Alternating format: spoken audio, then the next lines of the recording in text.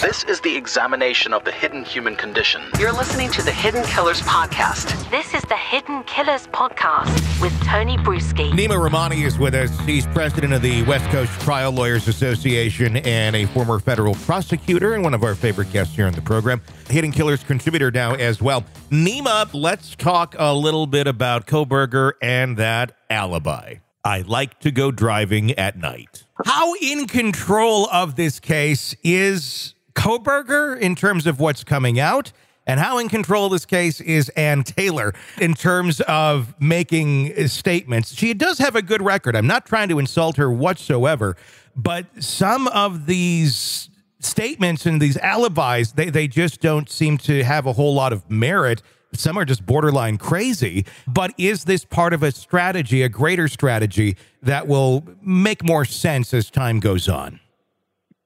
Yeah, you, I also respect Anne Taylor. She's, I think, one of just a dozen or so death qualified lawyers in Idaho. She's, you know, the public defender. So, you know, I think what's going on here is this. You know, some states require notice of an affirmative defense, like an alibi defense. I don't think this is a real alibi where someone's going to testify that, you know, Bryan Kohberger was with me on the night of the murders. I don't think we're going to hear a witness. But you know, what the defense is going to do is cross examine the state's evidence. So they're going to go after the cell site evidence. We all know that it shows that Kohberger's cell phone left Washington State, traveled to Idaho.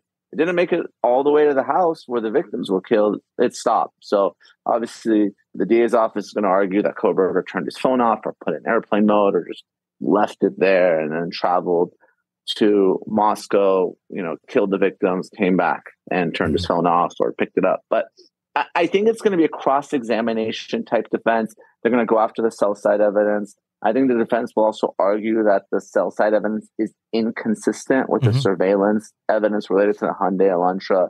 So I think the argument's going to be, Tony, that you know, because Kohberger's phone wasn't at the scene of the murders, Kohberger wasn't at the scene of the murders, mm-hmm. and because the evidence shows that Kohberger's phone was traveling, that you know, they're going to say, well, Kohberger was driving the night of the murders, but he didn't go anywhere near the house. So I think that's the alibi as opposed to sort of a traditional alibi that we would see.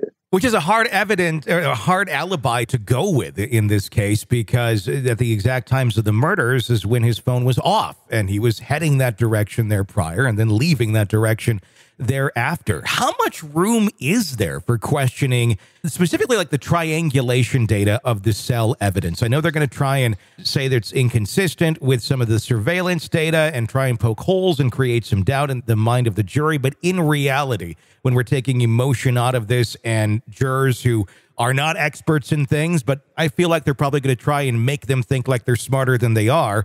How much room truly is there for arguing the cell data?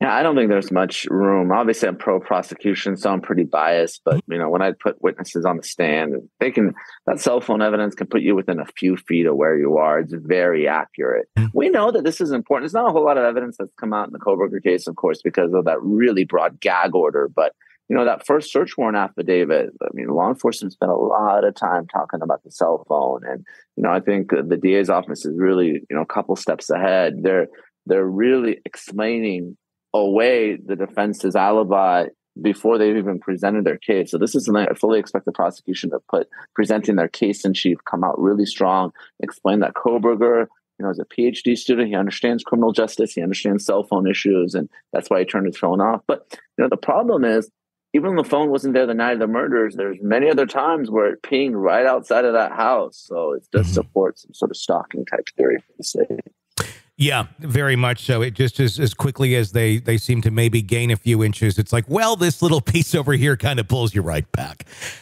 Given that there isn't much of a motive that we know of right now for the murders, how do you think that will play in the trial? Are we going to be presented with a motive from the prosecution? And if so, where do you think that's possibly going to go? I think we do need some sort of motive. Obviously, we all know it's not an element of the crime, doesn't have to be proven by the state. There's jury instructions in every state that say that. But, you know, jurors are ordinary people and they're going to want to know why would someone kill four college students in such a horrific, gruesome way? They're going to want to know the why. So, again, limited information that's come out of the case, but you know, if you believe what's being reported, is there's some Instagram messages. I don't think they were replied to. There's some reports that Kohberger went to uh, the restaurant where two of the victims were. I think we're going to get some sort of stalking type theory in this case. Mm-hmm. we're talking about young, three young women. So you know, I think it makes sense. I don't know for certain if that's the direction the state's going to go in, but I think they're going to want to come up with some sort of theory as to why someone would do this.